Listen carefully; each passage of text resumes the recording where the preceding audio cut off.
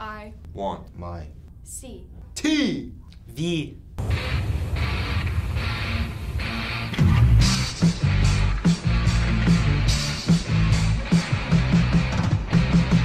Now for CTV 120. Today is Tuesday, September 19th, and here is your news. Students, come out to the quad today to show your support and spread awareness for Suicide Prevention Awareness Month. This week, the following colleges will be on campus. Today, Grand Canyon University will be here, and later this week, it will be UCI and St. Mary's. Representatives will be in front of the counseling center at lunch to answer your questions and provide more information about their university. Best Buddies has a meeting on Thursday during lunch in the media center. There is still time to join. Members who attend at least 60% of our meetings will be eligible to earn a pin for graduation.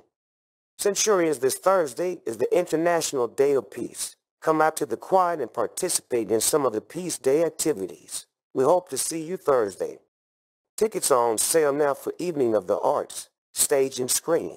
The dinner show will be this Thursday and Friday, September 21st and 22nd. You don't want to miss it, so get your tickets today. PTSA's Reflections Art Program is open for entries. The theme for the program is I am hopeful because submissions are due October 1st and can be turned into the front office.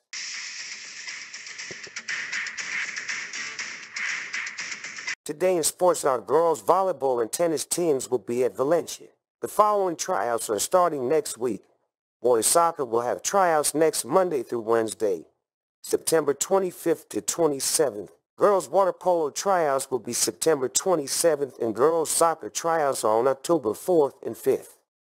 Here are the clubs that meet on Tuesdays. If you haven't already joined a club, consider joining one of these or the other clubs we have on campus. Have a great day, Centurions.